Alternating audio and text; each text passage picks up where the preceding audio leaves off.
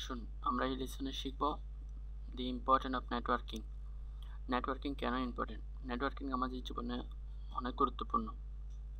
আপনি online market প্লেসে কাজ করেন আর নাই করেন। আপনার জন্য নেটওয়ার্কিংটা অনেক গুরুত্বপূর্ণ।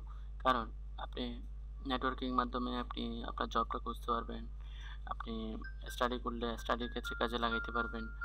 তারপর তো আপনি স্টাডির ক্ষেত্রে কাজে লাগাইতে পারবেন জবের মার্কেটের ক্ষেত্রে কাজে লাগাইতে পারবেন।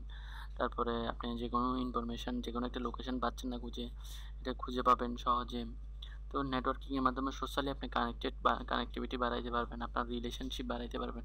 তো এটার জন্য অনেক গুরুত্বপূর্ণ একটা কি ইম্পর্টেন্ট আপনি এখান থেকে নেটওয়ার্কিং করে আপনি ইনকাম করতে পারবেন। তো ধন্যবাদ সবাইকে।